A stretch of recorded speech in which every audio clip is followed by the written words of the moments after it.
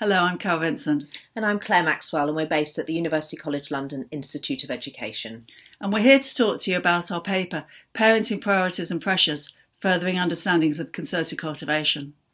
One of the uh, observations that prompted this paper was our understanding of the intense increase in private tuition and also an increase in the extracurricular activities that are being advertised and targeted at families, especially families with, with very young children. Why is this increase in extracurricular activities important? Well, we see it as an example of the responsibilisation of parents.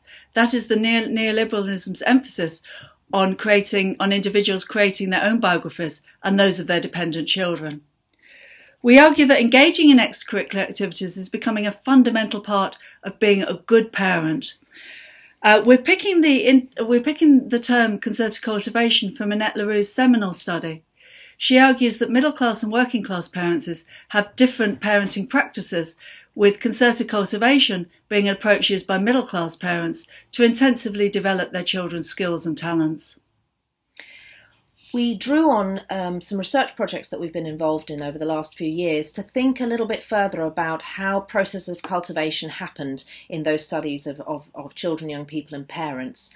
We draw, we draw on Carol's study of the black middle classes and their parenting strategies, and my work on young women who are being privately educated in England, and suggest ways in which we have to look beyond um, a homogeneous middle class set of parenting strategies to look more for internal differentiation within these different groups of, of people. We after offering some examples from our data, we then conclude with emphasizing that we believe there is now a normalization towards um, an emphasis on processes of cultivation across all families and what it means to be a good parent.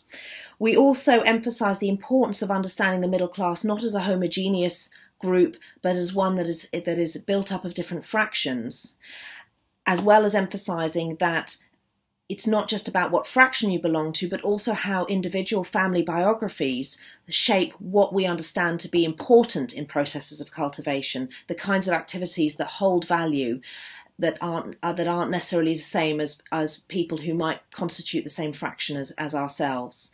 And then we we conclude by offering some suggestions for a future research agenda around this area. We hope you enjoy our paper.